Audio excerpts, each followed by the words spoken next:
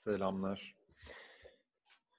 Ee, YouTube kanalındaki e, takipçilerimizin e, bazı sorularından e, hareketle e, antik felsefe tarihine e, ilişkin bazı okuma önerilerinde e, bulundum önceki videoda.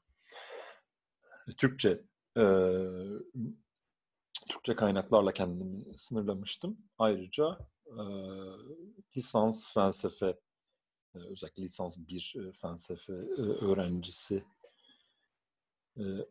ayarındaki bir okurun ihtiyaçları ve yeterlilikleri kapsamıyla da kendimi sınırlamıştım. Sokrates öncesi filozoflara ilişkin kaynaklardan biraz söz etmiştim. Biraz Platon'dan söz etmiştim, Aristoteles'ten e, söz edememiştim. Bu videoyu e, Aristoteles'e ilişkin benim kişisel güzergahımı paylaşmak için çekiyorum. Bu güzergahın arkasında dururum ama bu gene de benim güzergahımdır ve Platon'un, Aristoteles'in metinleri e, o dönemden kalan metinlerle kıyaslandığında çok geniş. Dolayısıyla e, bu benim çıkarttığım zaman içerisinde kendi kendime çıkarttığım bir e, güzergah. En güzeli e, hızlı bir şekilde e, elinizdeki külliyatı yani metinler bütününü kendiniz kat etmeniz, sonra yani hızlı bir şekilde belki kat etmeniz, sonra yavaş yavaş e, kendi güzergahınızı oluşturmanız, kendi ilgilerinize bağlı olarak e, vesaire. Dolayısıyla kendi güzergahımı paylaşırken e, bunu mutlaka hatırlatayım. E, Okey. Um, Quora'da esasında İngilizce olarak yazdığım bir e, cevaptan hareketle e, bu Aristoteles güzergahını e, önereyim. Hava da çok sıcak. E, benim önerim şu, Aristoteles okumaya nereden başlanır? Şimdi öncelikle Aristoteles e, okuma güzergahından söz edeceğim. E, buna paralel olarak da Türkçedeki Aristoteles çevirilerin nasıl hareket edeceğimizi, edebileceğimizi, bu güzergahın hangi çeviri metinlere uğrayabileceğinden söz edeceğim. Platon, Aristoteles, Aristoteles okumak okumaktan daha geniş çaplı bir şeyden söz edeceğim. Aristoteles çalışmak, Aristoteles'i etüt etmekten söz edeceğim. Aristoteles'in metinlerini yalnızca gazete okur gibi okumak değil, yavaş okumak, etüt etmek, kafa patlatmak, sürekli sorgulamak, önceki ve sonraki önermelerle tutarlılığını, gelişimini takip etmek gibi çok çok zor bir iştir sonuçta felsefe okumak. Özellikle Platon, Aristoteles okumak bence kolay değil.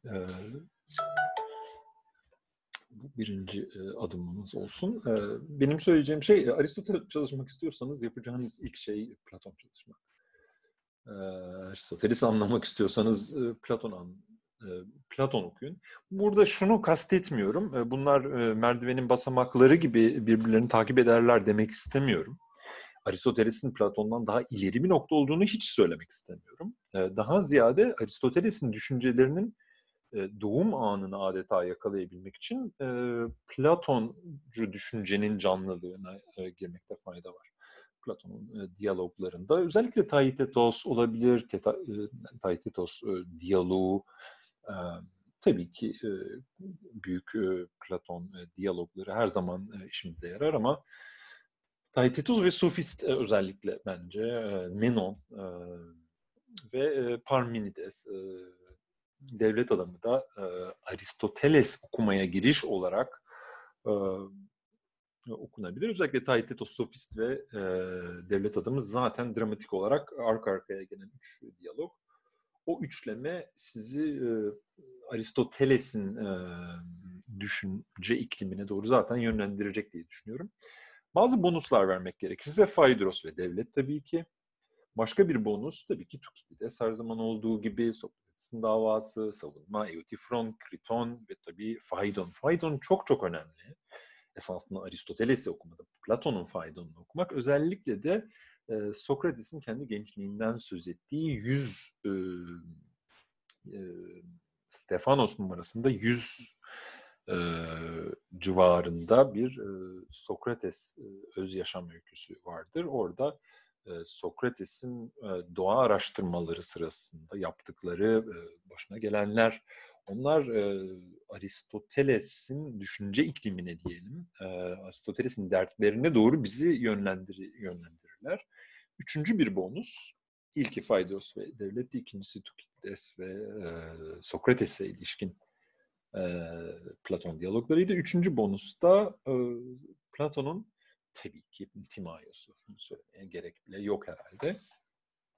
İlk adım o halde Platon okumak diye düşünülebilir. İkinci adım e, Parmenides'in fragmanları ve e, Zenon tırnak içinde paradokslarını okumak. Arkasından Aristoteles'e geldiğimizde şimdi artık Aristoteles, e, ben kendi Aristoteles güzergahımı size anlatayım isterseniz ve hem kavramsal güzergah vereceğim buna paralel olarak Aristoteles'in metinlerinde neye tekabül ediyor onu anlatmaya çalışacağım. Ve üçüncü bir paralel çekerek de Türkçedeki Aristoteles metinlerinde, Türkçedeki Aristoteles çevirilerinde neler okunabileceğine ilişkin olarak bazı çevirilere değineceğim. Bence kavramsal olarak şöyle ilerlenebilir. Aristoteles'in varlık meselesiyle başlanır İkinci adım olarak bu varlık bağlamında kuvve fiil ayrımı. Yani güç, gerçekleşme ya da güç, etkinlik ya da güç ve işlerlik ayrımı. Neden Aristoteles böyle bir ayrım yapmak zorunluluğunu hissediyor? Varlıktan sonra o halde kuvve fiil ayrımı. Kuvve fiil ayrımı bir yere kadar madde biçim ayrımı da denk düşüyor diye düşünülebilir. Ya da e, kuvve fiil ayrımıyla madde e, biçim ayrımı e, arasındaki paralellik ve örtüşmezlikler e, incelenebilir. Bu bağlamda e, temel metinler e, metafizik olacaktır tabii ki. Metafizik, e, Aristoteles'in metafiziği olacaktır. E, burada e, farklı erdemleri olan, birbirinin yerine geçmeyen iki çeviriden söz edilebilir. Bir tanesi e, Ahmet Arslan'ın Fransızca Triko'dan yaptığı çeviri. Bu da kullanılabilir. E, okunak, kolay, e, e, daha daha okunaklı olduğunu tahmin ediyorum. Diğer e, alternatif e, Gurursel'in çevirisi daha e, sözcük sözcük yapılmış bir çeviridir. Harfiyen yapılmış bir çeviridir. E, burada e, Aristoteles'in metafiziğinin 14 kitaptan oluşan bir e, metindir sonuç olarak. E, başlamak istiyorsanız bence birinci ve ikinci kitaplarını okuyabilirsiniz. Yani büyük alfa ve küçük alfa diye de geçer bunlar. E, bu bir ısınma turu olur. benzer şekilde fiziğin ikinci kitabının üçüncü bölümü. Sonra geri dönüp metafiziğin beşinci kitabının ikinci bölümü. Sonra Aristoteles'in kategorileri, Buna bonus olarak e, yorum üzerine ve birinci analitikler e, olabilir. Burada Aristoteles'in e, mantığına geçiş yapmak isteyen okurlar için bunlar izlenebilir. Kategoriler ve yorum üzerine bağlamında ve sonra birinci ve ikinci çözümlemeler bağlamında Safet Babir Hoca'nın çevirileri var. Daha eski çeviriler var Milli Eğitim Bakanlığı'ndan çıkan. Saffet Hoca'nın ve onun öğrencisi Ali Huşyari'nin çevirisi e, kullanılabilir bana kalırsa. E, henüz varlık alanın, varlık meselesinin nasıl ortaya çıktığını anlamak istiyoruz. E, bu bağlamda biraz bir ileri adım metafizik gamma yani metafiziğin dördüncü kitabına geçmek. Bu çok çok önemlidir. Arkasından metafiziğin altıncı, yedinci kitabı, sekizinci ve en önemlisi metafiziğin dokuzuncu kitabı. Teta isimli kitap. Bu sizi kuvve fiil ayrımına yani e, güç e, gerçekleşme ya da güç etkinlik e, ayrımına getirecektir. Ve bunu anlamak bence Aristoteles'i anlamanın anahtar Aristoteles'i anlamak için gerçekten kilit. Buna paralel olarak yani metafiziğin 9. kitabı yani Teta'yı e, okurken e, yorum üzerinin 9. ve 12. E, bölümlerine bakılabilir. Orada da e, sanki mantıksal bağlamda ya da dil bağlamında da e, bu ayrım karşınıza çıkacaktır. Bundan sonra şimdi ne dedik? Varlık, e, kuv ve fiil e, varlıktan sonra kuv ve fiilden söz ettik. Kuv ve fiilden sonraki adımımız kavramsal olarak atacağımız adım hareket olacaktır. Hareket, değişim, devinim. Burada da çok burada da burada okuru adreslemek kolay. Saffet Hoca'nın fizik çevirisi burada kilit rol oynayacaktır. Fiziğin ikinci ve üçüncü kitapları isteyenler için devamı geçerli olacaktır. Yani varlık sorusundan hareketli kuvve fiil ayrımı, kuvve fiil ayrımı sayesinde hareket tanımlanabilmesi adımlarımızı şu anda oluşturuyor. Hareketten hareketle e, tanımlanabilecek olan şey e, doğa olacak. E, doğa bir e, e, hareket üzerinden tanımlanacak. Dolayısıyla fiziğin ikinci kitabındaki doğa tartışması da e, çok e, yerini bulacaktır burada. Ne dedik? O halde varlıktan başladı kuvve fiil ayrımı, kuvve fiil sayesinde hareketin tanımlanabilmesi, hareketin tanımlanabilmesiyle e, doğanın e, tanımlanabilmesi, hareketin tanımlanabilmesi sayesinde doğanın tanımlanabilmesi. Doğa dediğimiz şey de inorganik e, varlıklar olduğu gibi organik canlı varlıklar da var. Bu bizi canlılığın alanına getiriyor. Tahmin edebileceğiniz gibi ruh üzerine, ruh üzerinin üç çevirisi var. Benim bildiğim dört çevirisi var aslında. Türkçe'de e, ben ve Gurur Sevin yapmış olduğumuz çeviri, e, yani hiçbir sıra gözetmeden e, sayıyorum tabii ki. E, Lale Levin Basut ve Saffet Babür'ün yaptığı çeviri, e, daha eski, daha önce Zeki Özcan'ın ağırlıklı olarak Fransızcadan yaptığı farklı farklı baskılarda e, yeniden bastığı çeviri var. E, bir tane daha çeviri var, o çok zor bulunuyor. E, ve biraz parça e, parça parça e, çevirmenini esasında unuttum, kusura bakmayın ama nadir kitaptan falan bulabilirsiniz sonuç olarak.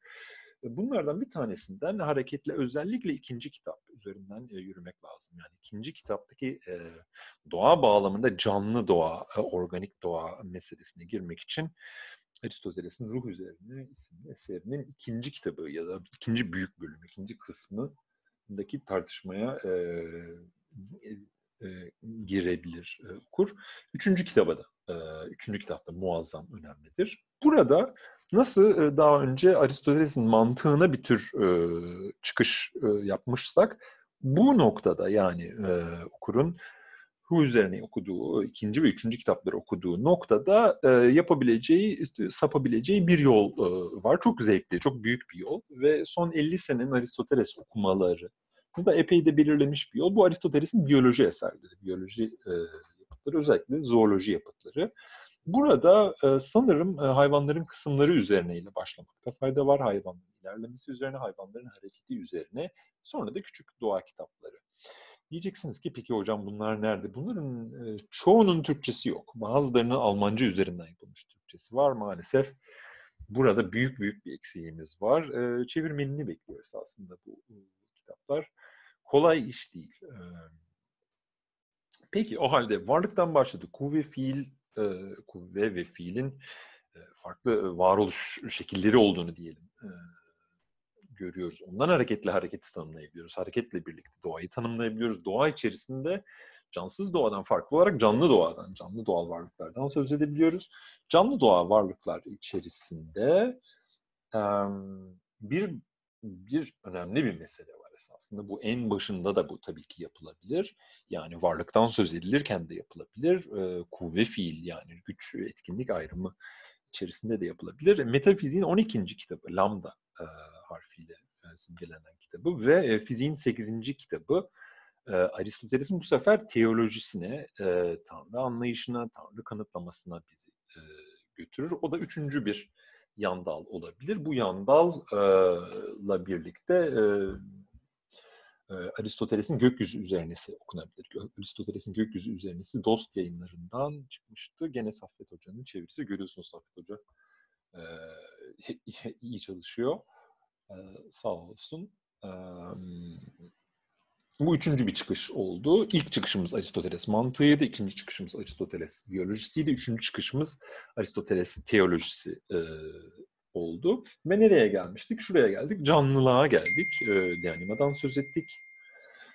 E, ikinci kitap bize genel olarak canlılığı anlattıktan daha sonra ikinci kitabın 5. 6. bölümünden sonra ruh üzerine de e, hayvan e, anlayışına geçiyoruz Aristoteles'in. Yani bitkiler değil e, hayvanlara özgü olarak e, algı e, ve işte hayal gücü, sonra da düşünsel e, yetiler e, ele alınıyor. Üçüncü kitapla birlikte yer değiştirme ele alınıyor. Üçüncü kitapla birlikte ruh üzerine de. Konu tahmin edebileceğiniz gibi artık insana geldi. İnsan bağlamında benim gördüğüm kadarıyla yapabileceğimiz şey çok şey tabii ki var ama Nikomakos'a etik bunu Safet Babür'ün çevirisi var. Ama Magna Moralia'yı Gurur Sev çevirdi. Bu da bir yere kadar belki işinizi görebilir. Eudemos'a etik de işinizi görebilir. Eudemos'a etik de gene galiba Safet Hoca'nın çevirisi. Burada artık hayvanlar bağlamında insan ele alınıyor. İnsan yaşamı, özellikle de çok kabaca söyleyecek olursak birey düzleminde yani tek bir insan ruhunun nasıl bir şey olduğu, o ruhun ne gibi yetilerinin olduğu, neler yapabileceği, onları yapması için hangi yöntemler izlenmesi gerektiği vesaire. Burada insan felsefesine girmiş oluyoruz esasında Aristoteles'in ve Aristoteles zaten Nikomakos'a etiğin neredeyse ikinci yarısı olarak kendi politikasını düşünüyor. Aristoteles'in politikasının birkaç çevirisi var. En son yapılan çeviri Özgüç Orhan'ın yaptığı çeviri plan yayınlarından yayınlandı. Ben o çeviriyi çok seviyorum valla. Ee, Yunanca'dan değil İngilizce'den yaptığını söylüyor ama Yunanca'dan yapılmış bir çeviri kadar e, iyi bir çeviri. E, bu şeye e, bu videoların altındaki yorumlardan birine de biriyle de ilgili e, evet eski Yunanca'dan yapılmış çeviri istiyoruz. Yani çevirilerimizin ana dilden e, pardon düzeltiyorum orijinal dilden e, yapılmasını istiyoruz e, normalde. Ama e, bu örnek e, şeyi gösteriyor yani e, mükemmel bir e, çeviriden yapılmış çok iyi bir çeviri bazen e, orijinal dilden anlamadan yapılmış bir çeviriden daha çok işimizi görebiliyor. Özgür Orhan'ın Aristoteles'in politikasını yazdığı çeviri ve yazdığı ön söz falan çok hoştur. E, onu tavsiye ederim. Politika ile birlikte artık nereden başlamıştık? Varlıktan başladı. Kuvve, fiil ayrımından söz ettik bu sayede. Hareketin tanımlanması bu sayede doğanın tanımlanması doğa içerisinde canlı doğadan söz edilmesi canlı doğa içerisinde e, bitki ve özellikle hayvanlar, e, hayvanlar bağlamında da e, insan nihayet karşımıza çıkmıştı. İnsan bağlamında Nikomakos etikte insan bireyi bazında şey yapmıştık. İnsan insanın birey bazında ele almıştık. Ee, özellikle huylar, erdemler, mutluluktan söz etmiştik. Ama Aristoteles için e, etikle politika e, birleşik şeyler. Etik diye ayrı bir şey yok hatta. E, Nikomakos etiği, e, etiğinde politika olduğunu söylüyor. Politikada ele aldığı şey insanlar arası ilişkiler diye düşünülebilir. Daha şey olarak insan e, örgütlenmeleri ve özellikle de e, aile, e, hane e, yönetimi e, daha e, köy e, düzeyindeki bir e, yönetim ve arkasından polis yani e, kent devleti düzeyindeki yönetim, e, yasalar, e, eğitim, e, işte çocuk büyütmeden e, müziğe, e, başka farklı Yunan e, polislerinin e, nasıl yaşadığından farklı rejim türlerine kadar buradan e, tabii e, çok çok çok çok olağanüstü çok elde edeceksinizdir.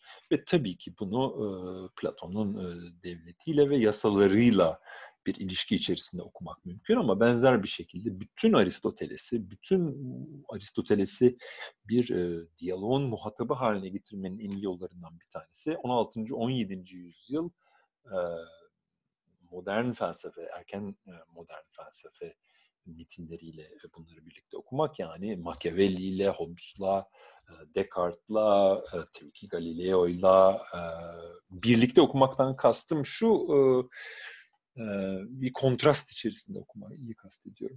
Uzun lafın kısası kavramsal olarak önerdiğim Aristoteles güzergahı. Varlıkla başlıyor, kuvve, fiil ayrımı yani güç, etkinlik ayrımıyla devam ediyor. Oradan hareket, devinim, değişim, Oradan doğa, oradan canlılık, oradan insan, oradan insan toplumu, insan e, polis e, esasında bir açıdan bir güzel bu güzergah tamamlanmış oluyor. E, retorik ve politikaya fazla yer e, bulmadım. Sanırım dördüncü bir e, yan dal olarak e, retorik ve politikadan söz edilebilir. E, gördüğünüz gibi retorik ve politika biraz havada kalıyor bu şema içerisinde. Bu şemada havada kalmalarının bir sebebi esasında retorik ve e, politikayı e, organonun bir parçası yani Aristoteles'in mantık eserlerinin bir parçası saymamamızdır. Oysa e, Arap geleneğinde e, retorik ve e, poetika metinleri e, şeyin devamı olarak düşünülür. E, mantık eserlerinin devamı olarak düşünülür. Yani kategoriler, e, yorum üzerine birinci antikler, ikinci antikler, sofistik çürütmeler ve e, topika, e, topikler Rene devam olarak e, retorik ve e, poetikadan söz edilir. E, böyle bir güzergahta bence izlenebilir. E, dediğim gibi poetikada e, retorik çevirisinde e, Mehmet Doğan'ın çevirisi vardı. Mehmet Doğan'ın çevirisi İngilizceden yapılmış bir çeviridir ve galiba çok güvenilir değil. O yani birinci elden yapılmasını isteyeceğimiz bir çeviridir. Ama e, retoriğin yeni bir çevirisi çıktı. Ari Çokona'nın olabilir, e, biliyor olmam gerekirdi bunu ama e, bulacaksınızdır. E, birinci elden yapılmış bir çevirisi var diye hatırlıyorum. Aristoteles'in retoriğinin yeni yapılmış bir çeviri. Aristoteles'in poetikasında e, söylenebilecek çok şey var Türkçe çeviriler bağlamında. İsmail Tunalı çevirisiyle e, poetika Türkçe'de tanındı bir yere kadar eskimiş bir çeviri olduğu düşünülebilir. Almancadan yapılmış bir çeviridir. Alman filolojisinin kendine göre sağlamlığını gösterir. Ben esasında Türkçe'de yapılmış e, poetika çevirilerinin sınıflandırılmasıyla ilgili bir tür teorim bile vardı. Aslında Aristoteles'in e, poetikasındaki tragedya türlerinden hareketle Türkçedeki Aristoteles poetika çevirilerini tasnif etmiştim. E, tam hatırlamıyorum ama e, İsmail Tunalı mı dedim? Yanılıyor muyum? Ee, onun çevirisi e, galiba karakter e, tragedisine denk düşen bir tür karakter çevirisi olarak düşünülebilir. Uzatmayayım. E, Nazire Kalaycı'nın çevirisi çok güzel bir çeviridir. Çok güzel bir Almanca metinden e, hareketle Kassel'in e, 61 e, edisyonundan yapılmış güzel bir çeviridir. E, başka ne var? E, Sami Rıfat'ınki var. Sami Rıfat'ınki Sami Rıfat e, üzerinden e, okunmak için güzel. E, Aristoteles'in külliyatı içerisinde biraz havada kalıyor. E, Sami Rıfat, e, Umberto Eco e, ve onların o, o, o çevreyle ne demek lazım kısıtlı bir e, ilginiz varsa poetikaya ki şu anda bizim konuştuğumuz okur öyle bir okur değil dediğim gibi bizim okurumuz Aristoteles külliyatını kat etmek isteyen bir okur. Dolayısıyla Sami Rıfat çevirisinin kendine özgü erdemleri olmakla birlikte dışarıda bırakabiliriz tartışmamızın.